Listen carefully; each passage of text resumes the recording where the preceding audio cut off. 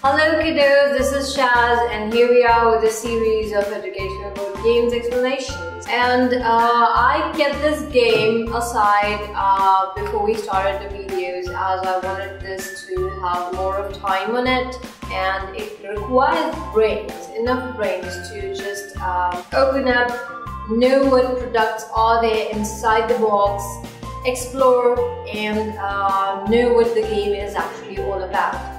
So uh, if I at all have to give you a summary about planet, then I'd say that you are handling the world, complete plain world, and you are supposed to be building a new world. If at all I have to give a summary about this game, it would actually be literally handling the whole world and creating a whole new world of your own where your favorite animals or your preferred animals can actually live in with their habitats and creating an environment where they live and flourish further. So that's how uh, Planet is all about and uh, we'll just straight dive into uh, the box to know what all items are there and how are we then gonna play We first have our instructional panel which actually you can refer anytime in between of the game and before the game. After watching this video I would actually uh, suggest you to just go inside the booklet and know more about the game so that you're completely thorough and there's no way that you get stuck in between of the game. Who wants that? That's a complete irritating situation there. So now that we find all these four of these uh, you know the base of your planet I would say. And these are actually pentagon in uh, shape from every side and it has quality magnets on it. So uh, these are actually metals and then we get tiles as such as this one so that when you're playing the game you would actually stick it over here and it wouldn't fall until you want it to get off the planet the tile wouldn't actually get off it so it's actually a strong one if you can say. and so on will it just go along the way uh, you play with your cards and arrange your uh, planet to be suitable as per your animal.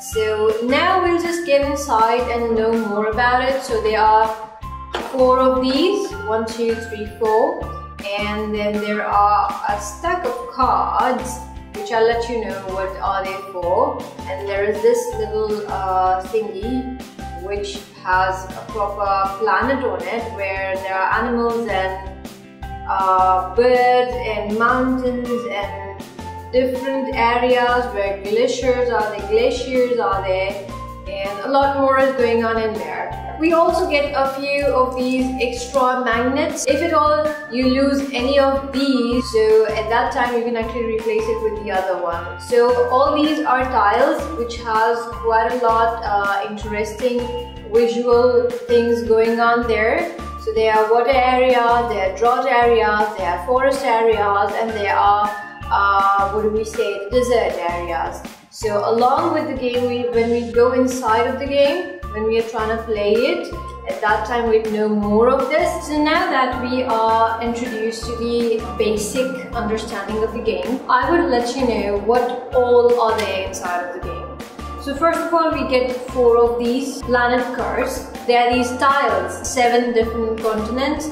And the way we are setting it up is uh, we first set up a stack of five tiles in 10 row. So now that we are just about to play the game, setup is to be done in a way, in a specific way I would say, which is every player will have one of these uh, planet cards which will be like uh, plain without any tiles stuck to it and uh, then we set up in the mid of the table where the opponents are there and everyone, everything on the table is visible and reachable for each and every player. It is very easy, the setup is very easy. How we do it is that we have our continental tiles here, five of these, okay?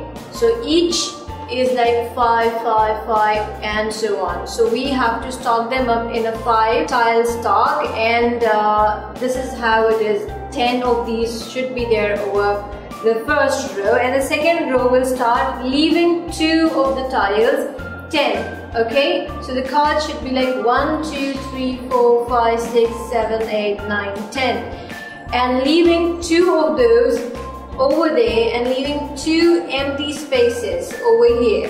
The first row will be our tiles of different continents and then the second row will be our card which I get 10 of these and uh, then comes again leaving spaces of one, two, three card we'll set up 7 of these other cards with the animal on animal uh, printed on it on the other side so this is the back side of it Every card's back side is of a planet and in front we have our animal and its preferred habitat.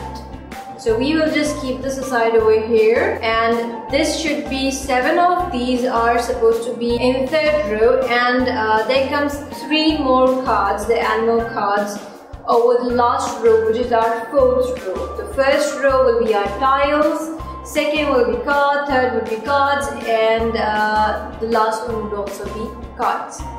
Now, uh, there are many cards in there. There are enough of cards uh, available with us, but then there are five of these cards which are different.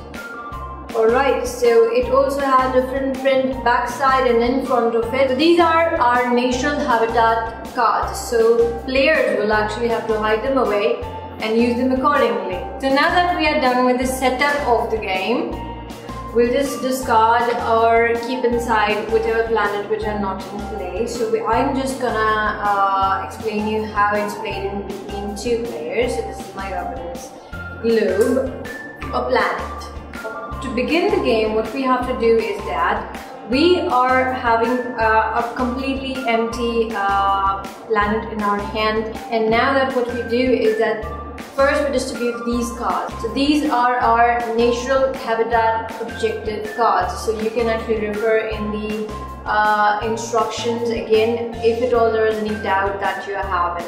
So this is to be hearing from the other players. So what we gotta do is uh, choose any of these. I like this one. I wanna achieve that. So I'll just keep it with me and hidden from all the other players. So I'll just keep it like this with me and then the other player took uh, this very green green planet kind of thing so he's gonna do that so he'll be keeping that with him hidden from the other player. Although these are just gonna rest there in the box wherever you want it to be. To begin the game is that we just take the first stock of uh, tiles and lay it out in front of and in reach of every player so that we have laid these tiles in front of the players that where they are reach they can easily reach the tiles so what we do now is that every player takes uh, his choice of tile. As I'm aiming for this one I take this tile and stick it on my planet so now the turns are actually clockwise. So after me the person uh, to my left would actually uh, take as to explain you it's clockwise directions. So the person who is actually my opponent will actually take uh, another piece of it. As I'm playing from both the side, I'll get to see what's there in their habitat card.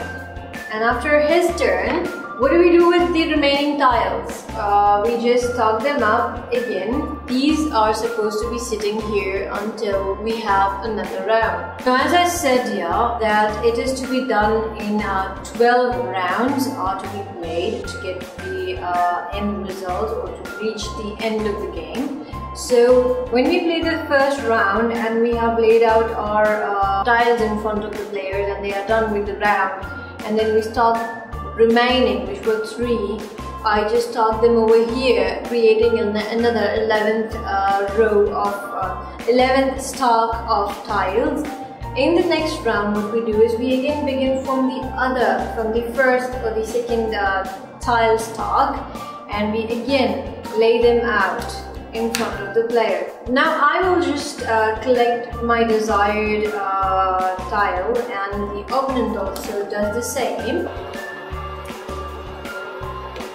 And that has been said, again we are left with three of the tiles.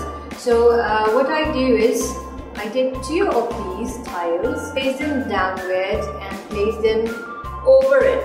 When these are done with 5, I start another. When these 5 are done, I'll start with another uh, stock of tiles. And when that is done and we begin with another game, and again we do the same, we select our desired tiles. We are again left with 3 and then when we are left with 3, we place these 3 over here in a stock of 5.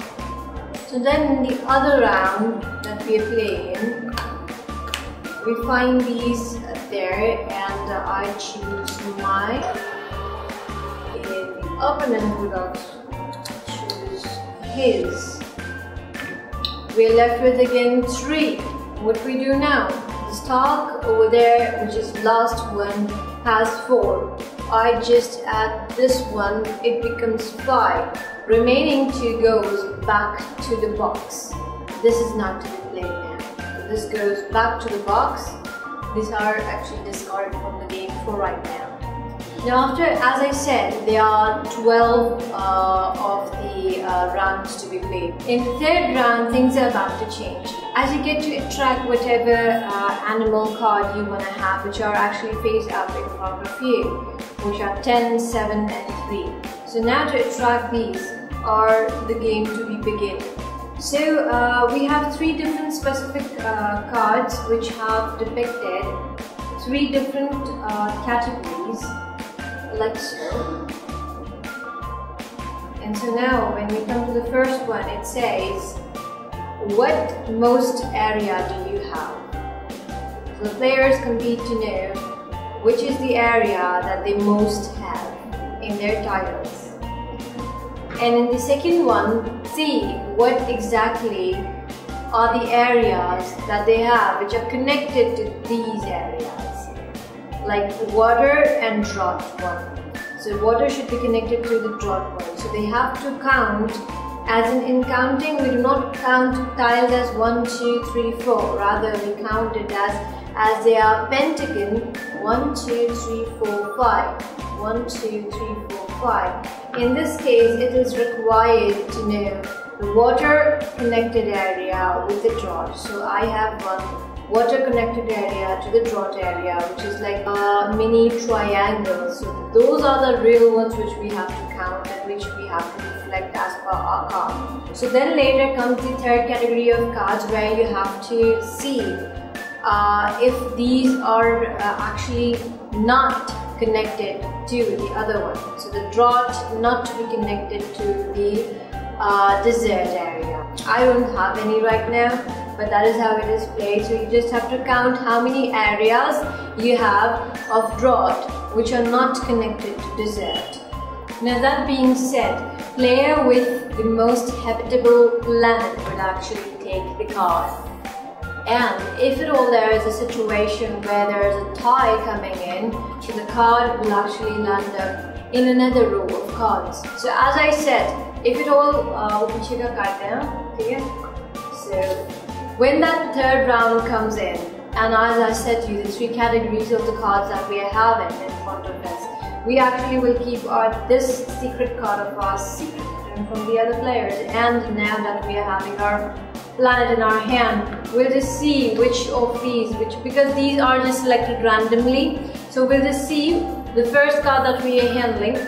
Uh, if at all the habitats reflected over here are matching to our uh, planet. And then if at all they are then we'll actually take this card with us and that counts as a score for us. And uh, so on the game goes on. If one is taken by me then the other is taken by someone else the other opponent of mine. If not and there is a situation of a tie this card, this particular card will go and sit under the next row of cards. Rules that next follow when, when there is a tie situation uh, is when the card which is not the card requirement of this card is not fulfilled by any of the opponents then this goes and sits under the uh, last row of cards that we are having. And then this is to be played in the next round that comes along the way. And if by the end of the game, the 12th round that is to be played, by that round also this card is not gone, this animal is not owned by any of the opponent, what the situation demands here is that this card is to be taken by the person who has most of these kind of habitats.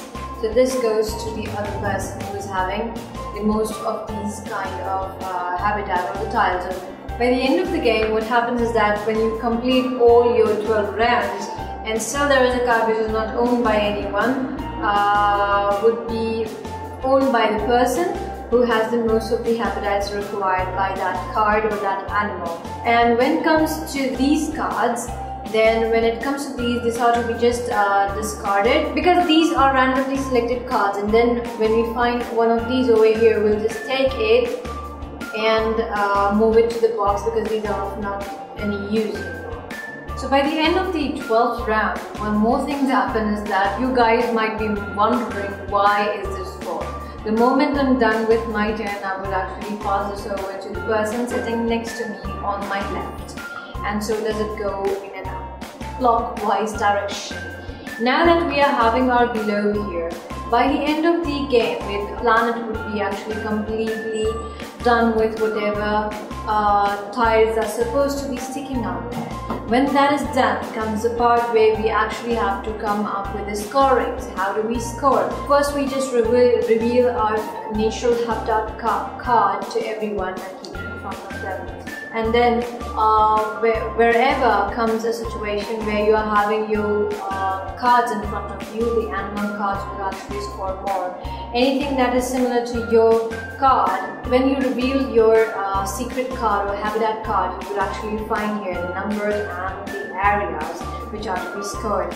And when you count anything related to the, these, uh, the secret card of yours, it will actually count as count as one point and the other would actually count as two points. And by the end of the game, uh, the scorings would so be that as per the collection of your cards, uh, whoever scores the most will actually win the game. If not that the case is, then whoever scores the most animals will win the game. That's pretty much about the game and whenever there is a doubt or anything else, you can definitely always go to the instructions which are simple and very very much easy to understand so uh, that's pretty much about the game Planet and I would suggest you to buy this online or even to the nearest store that you are having at your malls and at, even at Hamleys and so on. I would actually recommend this game for all the ages of child which are present at your home and whenever you are in a mood to just buy this game after understanding it, own one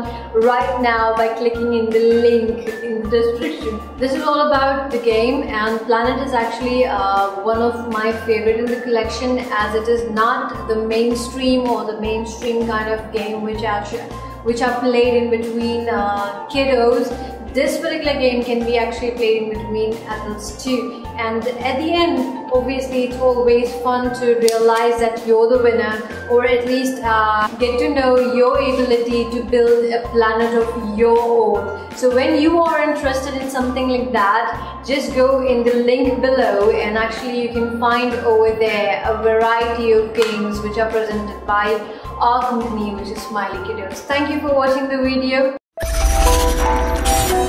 You.